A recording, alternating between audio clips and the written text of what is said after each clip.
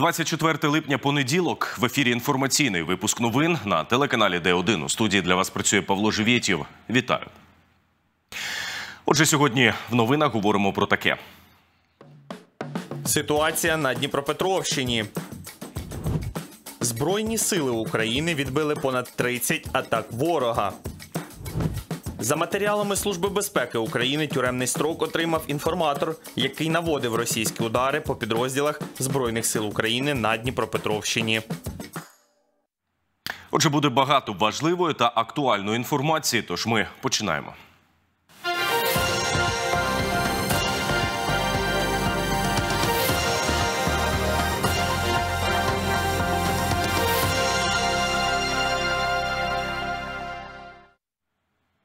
Вчора пізно ввечері ворог вдарив по Мирівській громаді Нікопольського району. Застосував важку артилерію. Обійшлося без загиблих та поранених. На інших територіях нашої області було тихо. Ніч пройшла без ворожих атак.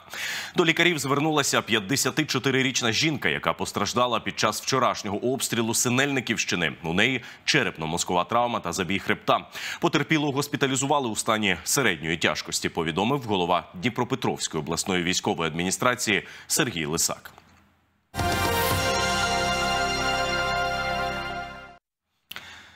Продовжимо випуск. В ніч проти понеділка Російська Федерація завдала чергового авіаційного удару іранськими ударними безпілотниками шахет по Україні.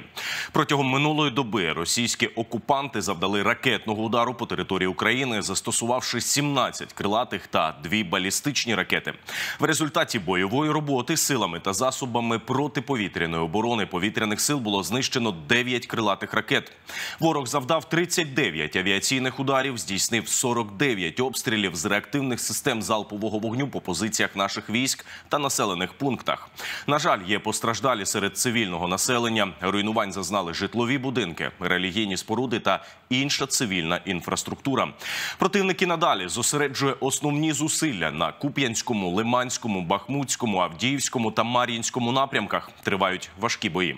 Протягом минулої доби відбулось 35 бойових зіткнень. Авіація сил оборони за минулу добу завдала завдала сім ударів по районах зосередження особового складу, озброєння та військової техніки противника. Нашими захисниками було знищено чотири розвідувальних безпілотники оперативно-тактичного рівня. Підрозділи ракетних військ і артилерії протягом минулої доби вразили один район зосередження живої сили, озброєння та військової техніки противника. Шість артилерійських засобів на вогневих позиціях, один командний пункт, один засіб протиповітряної оборони та одну станцію радіоелектронної боротьби боротьби ворога. Про втрати ворога далі. За добу збройні сили України ліквідували 660 осіб окупантів, 13 бойових броньованих машин та 11 танків.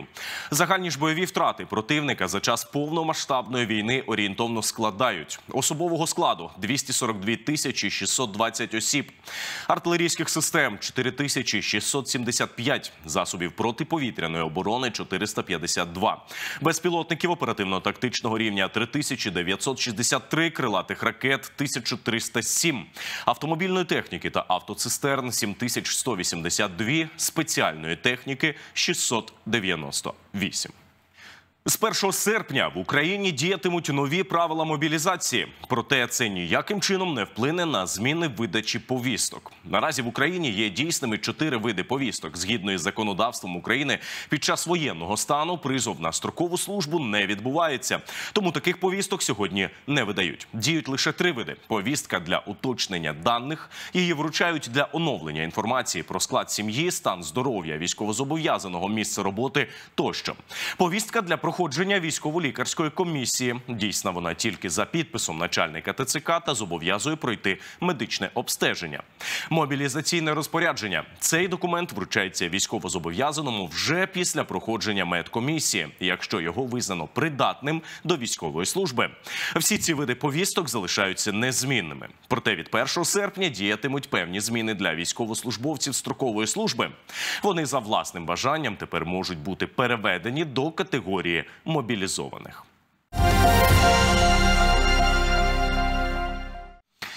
Кримінальна хроніка за матеріалами Служби безпеки України тюремний строк отримав інформатор, який наводив російські удари по підрозділах збройних сил України на Дніпропетровщині. Детальніше поінформував речник Служби безпеки України в Дніпропетровській області Валерій Єфанов. Завдяки доказовій базі Служби безпеки реальний термін ув'язнення отримав ще один інформатор російських спецслужб. Зловмисник збирав розвіддані про дислокацію логістичних центрів Сил оборони на території Дніпропетровської області. Передусім він намагався встановити координати баз технічного обслуговування військової техніки українських захисників. Отриману розвідінформацію він передавав агресору для підготовки прицільних повітряних ударів по українських об'єктах.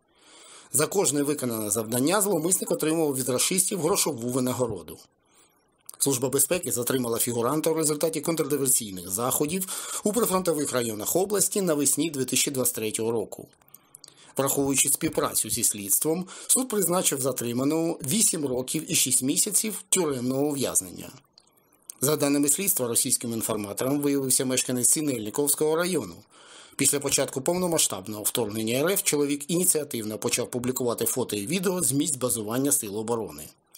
Таким чином він потрапив у поле зору російських спецслужб, які за гроші запропонували йому співпрацю на користь країни-агресора.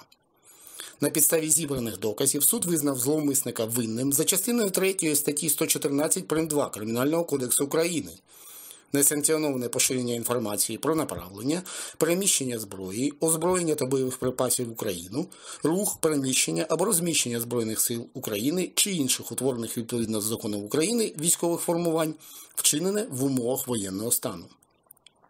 Розслідування проводили співробітники СБУ в Дніпропетровській області за процесуального керівництва обласної прокуратури. Правоохоронці затримали п'ятьох учасників злочинної групи. Ділки реалізовували зброю та наркотики на території Дніпропетровської області. Їм інкримінують зберігання, придбання та збут вогнепальної зброї, боєприпасів, психотропів та наркотиків. Все це підозрювані зберігали у власних оселях та гаражних приміщеннях, підшукували покупців через знайомих та реалізовували товар при особистих зустрічах.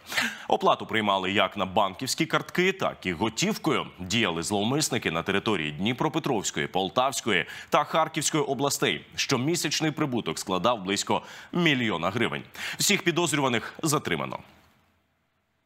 Було проведено близько 25 обшуків е, по місцю мешкання автотранспорту та в інших приміщеннях. Під час обшуку було вилучено велику кількість наркотичних засобів, зброї, грошових коштів близько мільйона гривень та інших речових доказів. На цей час п'ять учасників угрупування затримані. Їм пред'явлено підозру в скоєнні кримінального правопорушення, передбаченої частиною першої статті 263 Кримінального кодексу України та частиною другої статті 307 Кримінального кодексу України. Уродженку Нікополя, що переїхала до Львову, визнано винною у виправдовуванні, визнанні правомірною запереченні збройної агресії РФ проти України. Зрадниця у соцмережах активно підтримувала країну агресора та виправдовувала розпочату ворогом повномасштабну війну проти України. Також вона звинувачувала власну країну у вбивствах мирних мешканців на території Донеччини та Луганщини протягом восьми років. Обвинувачення було висунуто Львівською обласною прокуратурою зрадницю засуджено. Осередки для вигулу і тренування чотирилапих друзів необхідні мешканцям Дніпра. Неодноразово створювались тендери на будівництво таких майданчиків, але закінчувалося завжди одним внесенням змін до конкретних проєктів. Чому ситуація викликає резонанс та залишається проблемною вже декілька років? Деталі в сюжеті. Безліч прохань та запитів до Дніпровської міської ради надходило від місцевих. Основне прохання створити облаштовані майданчики для вигулу собак. Натомість дніпряни отримували тільки відповідні тендери. Навколо проєкту бюджет участі розгорнувся скандал ще у 2021 році. Замість осередку для чотирилапих на житловому масиві Західний з'явилося 100 метрів нової дороги у приватному секторі на вулиці Дагестанській. Тоді у міськраді сказали, що за законом автор проєкту має право на внесення змін, адже голосування триває досить довго і життя вносить свої корективи. Власне, жоден з жителів, хто голосував, не давав свою згоду на коректування призначення проєкту. Як любителька собак, я постійно стежу за проєктами бюджету участі, які стосуються спеціальних майданчиків для домашніх улюбленців. За проєкт на західному ми голосували, адже такі майданчики необхідні у місті. Я за відповідальне утримання тварин, коли за собаками прибирають, коли їх вигулюють безпечно один для одного та для оточення. Побачила, що тендер провели не на обладнання для майданчика, а на асфальтування. Спочатку я навіть не повірила, що проєкт так кардинально змінили. Йдемо далі. Знову 2021 рік. У Дарини півторарічний мітельшнауцер на ім'я Тібо. Вона хоче, аби майданчик для собак побудували в парку Глоби, бо їй з центру незручно їздити на мікрорайони, щоб потренуватися з собакою. Доводиться добиратись на житловий масив Лівобережний 3. В цілому майданчик цікавий, але маленький. Я б могла сказати, що ця гірка, яка позаду мене, вона дуже дивна, тому що собака просто не перестрибне. Якщо собака середнього чи маленького зросту, я вважаю, що навіть великий собака може не перестрибнути. Тобто це треба пофіксити. Через каміння, що просто лежить на майданчику, активна собака може травмувати лапи. Знаряддя стоять дуже щільно, і на майданчику мало місця. З 2021 року нічого не змінилося. Через складнощі з дорогою та малу кількість майданчиків у Дніпрі люди змушені гуляти з собаками у невідведених для цього місцях. Таким чином і утворюються неприємні ситуації, як і наступний випадок, який стався у парку Глоби. По поводу песочницы в 20 З приводу пісочниці взагалі окрема розмова. У 21-му році був шалений скандал з керівництвом парку, тому що господарі маленьких собак віддають перевагу дресируванню та вигулу чотирилапих на пісочниці. Облюбували вони більш за все ось ту пісочницю, але Оля любить там. Чому був конфлікт? Так, вони прибирають за собаками, але батькам не подобається, що їх діти гуляють в пісочку, в який перед цим сходила собака. І нас почали ганяти охоронці. Усіх собак розганяли. В незалежності чи чотирилапий на повідку, чи без. Просто в 21-му році охорона парку почала ціпляти так, що все. Ми е, з Монікою гуляли, як завжди, в парку. Е, і Моніка дуже полюбляє е, на пісочниці. От е, там е, немає дітей. Це в нас наш парк, знаєте, в якому стані. Він готується до реконструкції, тобто дітей там немає. Пан Танасічук, з яким ми до цього зустрічалися неодноразово, і е, знову ж таки, через те, що я розумію, в принципі, так що це собаки, я ніколи жодного слова йому не казала. Але скільки ж можна, так ну це просто систематично відбувається, тобто завдають кривди моїй собаці, яку я плекаю як дитину. Між господарями собак розгорівся серйозний конфлікт із втручанням правоохоронців, в якому наразі розбираються наші журналісти. Та цього конфлікту могло і не бути, якщо кожен господар мав свій куточок для комфортного вигулу собак. Проте замість дій від міської влади знову тендер. На цей раз на суму 2 мільйони 574 тисячі 113 гривень. Где-то на той стороне еще в советское время говорили «были».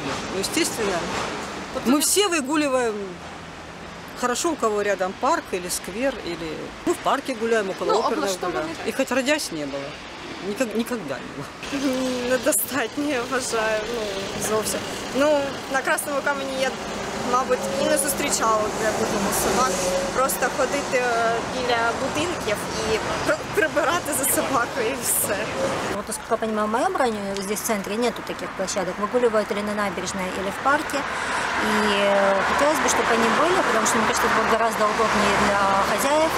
Даже некоторые даже кошек выгуливают, не только собак. Так, звичайно, я думаю, потрібно більше, тому що спеціальний простір для, для тваринок, я думаю, так буде зручніше і для них, і для мешканців. Я живу коло біля автовокзалу Кривий Ріг, то в нас там вистачає. У нас парк, там прямо окремі огорожені майданчики. У нас вистачає. Як у вас в Дніпрі, не знаю. Маргарита Кузьменко, Віталій Шалдов, Андрій Міронюк. Новини Д1. До інших тем понад 7 тисяч родин Дніпропетровщини цьогоріч отримали пакунок малюка або компенсацію за нього. Родини, в яких народилася дитина, можуть отримати таку допомогу. У бейбі-боксі найнеобхідніші речі для немовляти: підгузки, пелюшки, ковдра, засоби гігієни та інше. Замість нього можна обрати виплату у понад 6 тисяч гривень. Пакунок малюка можна отримати одразу у пологовому. Ще один варіант звернутися до управління соцзахисту. Туди ж потрібно йти тим, хто хоче отримати грошову компенсацію. Оформити виплату можна і у ЦНАПі або на порталі Дія.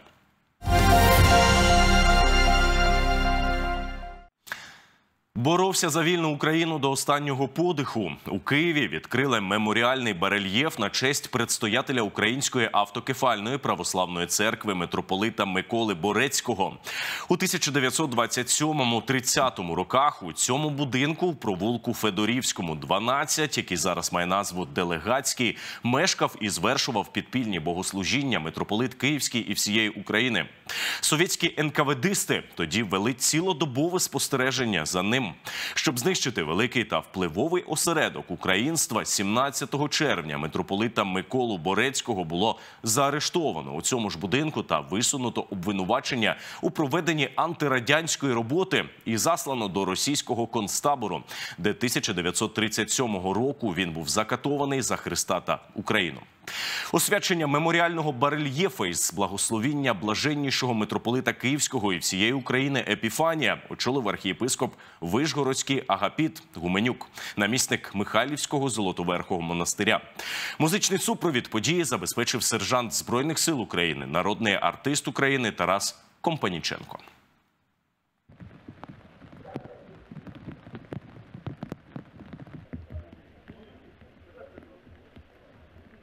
Дуже пророча ікона, тому що щось подібне. Повна науковець, доктор техніки. Щиро дякую, пане. Отця нашого блаженнішого, дякуючи зі страхом і трепетом, як рабини.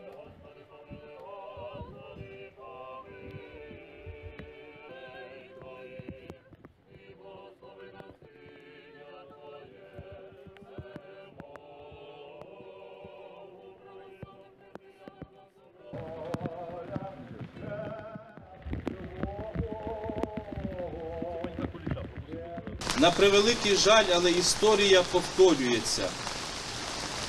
Як і за земного життя митрополита Миколи Борецького, йому довелося дуже багато потерпіти від радянської влади. Сьогодні ми терпимо не менше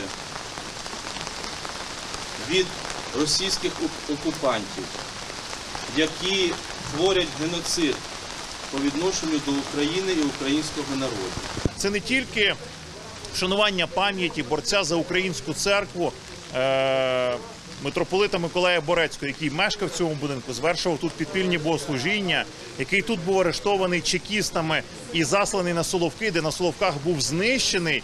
е, Тобто в російському концтаборі був знищений російськими окупантами, але це також і спроба в такий спосіб нагадати усім про історичність цього будинку і також захистити цей будинок.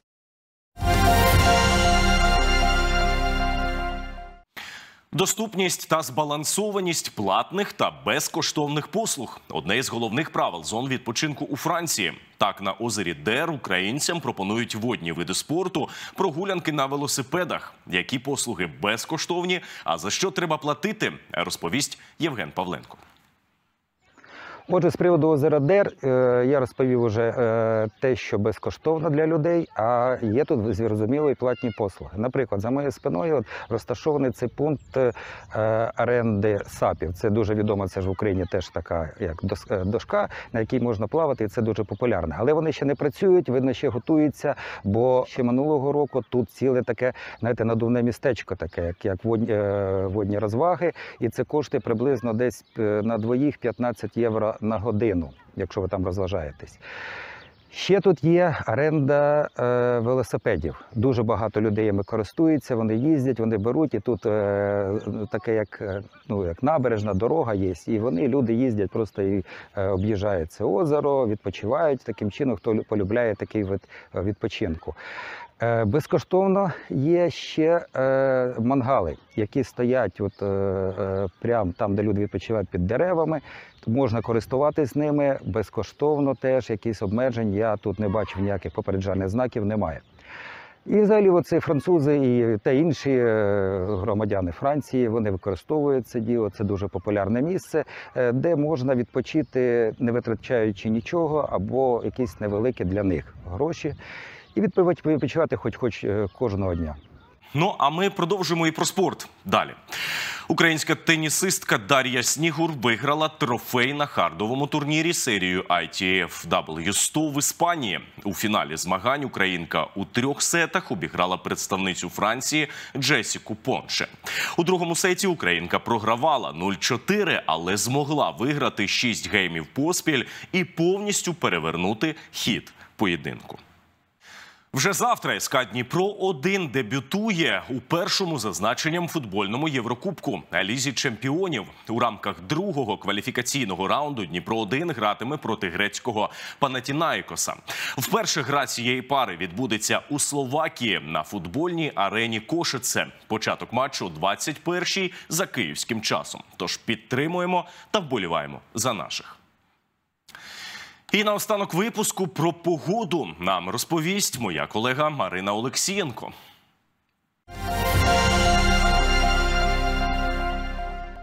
Вітаю, друзі! На завершення випуску коротка інформація про синоптичну ситуацію по Дніпру та області на завтра, вівторок, 25 липня. У Дніпрі в день буде невелика хмарність, а вже увечері очікується ясне небо. Опадів не прогнозується. Температура коливатиметься від 19 до 30 градусів тепла. Вітер південний до 5 метрів на секунду. Вологість повітря складатиме 43%. Ранок та вечір у Синельниковому, жовтих водах та Новомосковську будуть ясними. Вдень очікується помірна хмарність. Опадів не передбачається. Повітря прогріється від 17 до 30 градусів тепла. У Павлограді хмари, які з'являться вдень, протримуються недовго. Ввечері очікується ясна погода без опадів. Температура сягатиме від 16 до 29 градусів вище нуля. І про народний прогноз погоди 25 липня вшановується пам'ять священомучеників Прокла та Іларія. У народі цей день називали Прокл Великі Роси. Проклові роси вважаються лікувальними. У минулі часи їх збирали для лікування хвороб очей. Тоді вірили, що роса в цей день наділяє красою та спокоєм. Наші пращури помітили, якщо на прокла вночі немає роси, а в низинах туман на негоду. А якщо нічна роса не просихає, бути грозі. Якщо день сонячний, то осінь буде теплою. А якщо дощовий, то і восени часто йтимуть дощі. У цей час зацвітають гладіолуси. Гарної вам погоди, мирного неба! Все буде Україна. З вами була ведуча прогнозу погоди Марина Олексієнко. Передаю слово своєму колезі Павлу Живєтєву. Телеканал Д1 підтримує зв'язок зі своїми глядачами. Тож, якщо ви хочете поставити питання або маєте цікаву інформацію, телефонуйте на нашу гарячу лінію 098 060 35 35. Також нагадуємо, що телеканал Д1 має власні сторінки у соціальних мережах. Ви можете дивитися наші програми на Ютубі, у Фейсбуці, Телеграмі, Інстаграмі та Твіттері. Долучайтеся до глядацької аудиторії в інтернеті. На цьому інформаційний випуск новин завершується. У студії для вас працював Павло Живєтєв. Лишайтеся разом із телеканалом Д1. Слава Україні! Побачимось.